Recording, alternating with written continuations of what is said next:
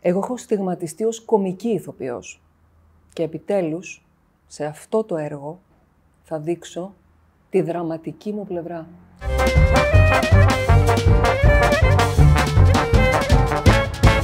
Γι' αυτό, ελάτε όλοι για να δείτε αυτό το έργο, γιατί δεν θα το κρύψω.